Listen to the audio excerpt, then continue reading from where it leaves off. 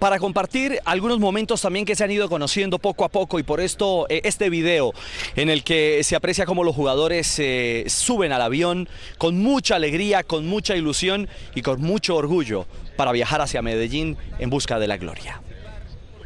Estamos junto al equipo chapecoense, justamente la mía, una empresa boliviana orgullosamente que brinda un servicio espectacular en vuelos charters a nivel nacional e internacional. En esta oportunidad transportando a un equipo que va a participar del primer encuentro de lo que va a significar eh, la primer final de lo que es la Copa Sudamericana. Así registraba el vuelo el canal boliviano Gigavisión que destinó un equipo periodístico exclusivamente para seguir paso a paso el viaje del chapecoense, el flamante finalista de la Copa Sudamericana. Tenemos la oportunidad de ser los transportadores oficiales de la Copa Sudamericana 2016.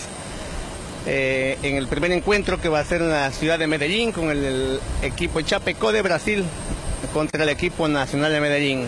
En Bolivia hemos estado con Real Potosí, Oriente Petrolero, Blooming y Bilsterman.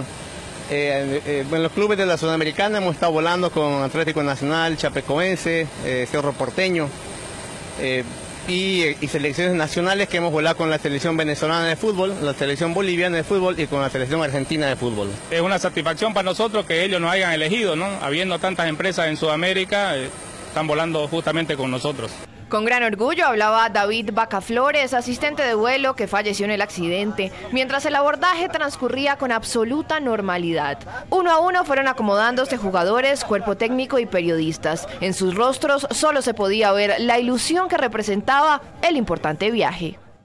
Momento importante para Chapecoense. Momento importante para Chapecoense. Ya habíamos trabajado con la compañía en el juego en Barranquilla y fuimos muy bien atendidos. Y ahora vamos a hacer ese nuevo trayecto con ellos y realmente esperamos que la mía nos dé suerte como la primera vez.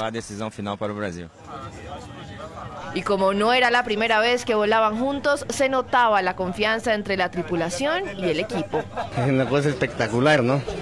Ya anteriormente los conocimos a ellos en un vuelo anterior y son realmente un equipo muy luchador y yo creo que vamos a hablar con buenos resultados. ¿Ah? Aquí el goleador.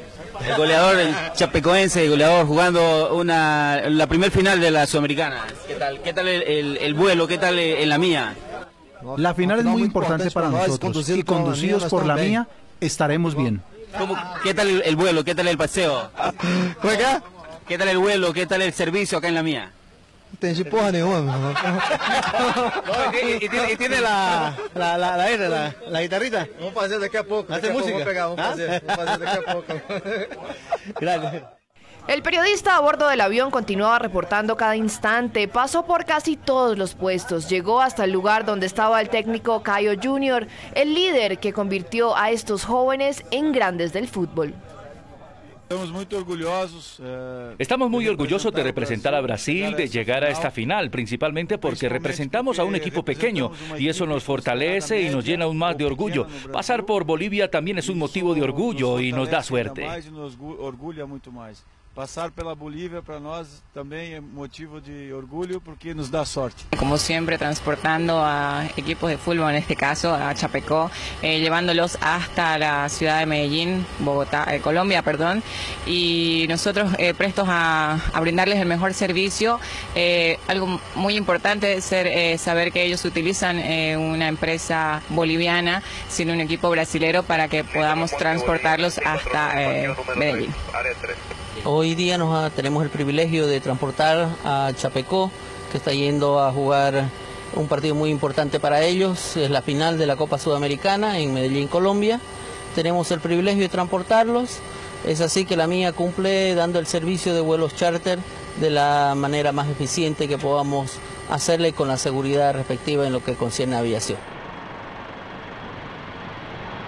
Y así partieron hacia el cielo, soñando con un título, sin saber que el rumbo de ese avión finalmente los llevaría en otra dirección.